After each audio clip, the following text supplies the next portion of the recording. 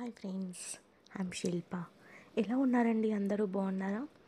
నేను ఈరోజు వచ్చేసి చికెన్ కర్రీ చేస్తున్నాను. ఎంత కలర్ఫుల్గా ఉందో చూడండి.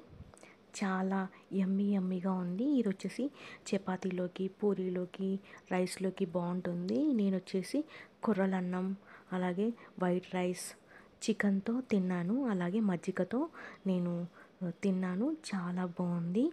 ఎమ్మి ఎమ్మిగా ఉంది. మీరు ఈ విధంగా చేయండి. మీ పిల్లలు చాలా బాగా తింటారు.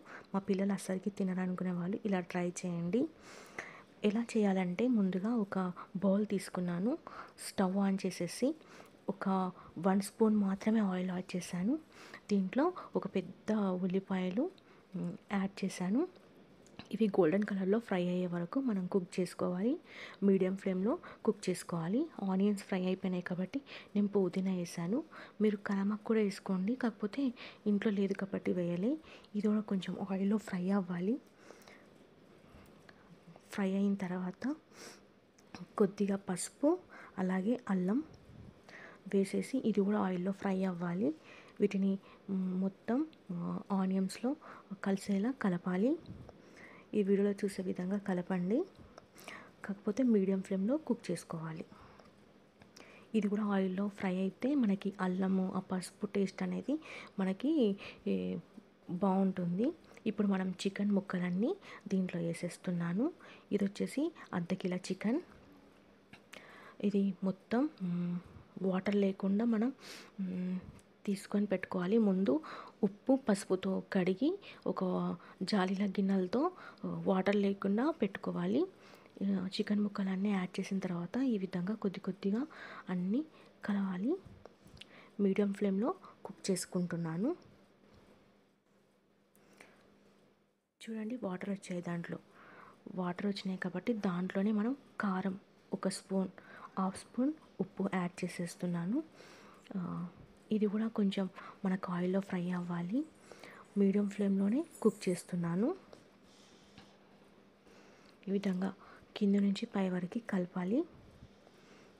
కలిపి ఒక టెన్ మినిట్స్ రెస్ట్ ఇవ్వాలి. మూత పెట్టుకోవాలి. పోల్ అయిందో లేదో చెక్ చేస్తున్నాను. చూడండి ఈ విధంగా మనకి పైకి ఎలా ఆయిల్ కనిపిస్తుంది. కొద్ది కొద్దిగా వాటర్ అనేటివి వెళ్ళిపోయినాయి. చికెన్ కొద్దిగా ఉమ్మగిల్లింది. దీంట్లో మనం వాటర్ యాడ్ చేస్తున్నాను. ఒక గ్లాస్ మీద one and half glass water add చేసేస్తున్నాను. యాడ్ చేసేసుకొని కలుపుకొని హై ఫ్లేమ్లో ఒక టెన్ ఫిఫ్టీన్ మినిట్స్ ఉడకనివ్వాలి. మళ్ళీ దీంట్లో వచ్చేసి గరం మసాలా పౌడర్ యాడ్ చేసేస్తున్నాను. ఇది మొత్తం దీంట్లో కలిసేలా కలపాలి. కలిపిన తర్వాత మూత పెట్టేసుకోవాలి. ఐ ఫ్లేమ్లో కుక్ అయిన తర్వాత ఒకసారి అయిందో లేదో ఒకసారి చెక్ చేస్తున్నాను. ఈ విధంగా వాటర్ ఉంటుంది. ఈ విధంగా చికెన్ మాత్రం ఉడికింది. కాకపోతే ఈ విధంగా వాటర్ ఉంటే టేస్ట్ బాగుంటుంది ఇంకొక ఫైవ్ మినిట్స్ ఉడి ఉడకబెడుతున్నాను. ఇప్పుడు చెక్ చేస్తున్నాను. ఇదిగో వాటర్ అనేటివి పోయినాయి. కాకపోతే కొద్దిగానే మనకి వాటర్ ఉన్నాయి. దీంట్లో మనం కొత్తిమీర యాడ్ చేసేసి స్టవ్ అనేది ఆఫ్ చేసేస్తున్నాను. చూడండి ఎంత కలర్ఫుల్గా ఉందో. వండని రాని వాళ్ళు ఈ విధంగా ట్రై చేయండి. చాలా బాగుంటుంది.